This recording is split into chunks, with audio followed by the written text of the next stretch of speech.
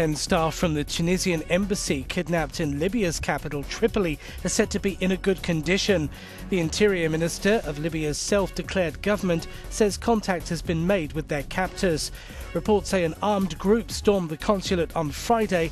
No group has claimed responsibility yet.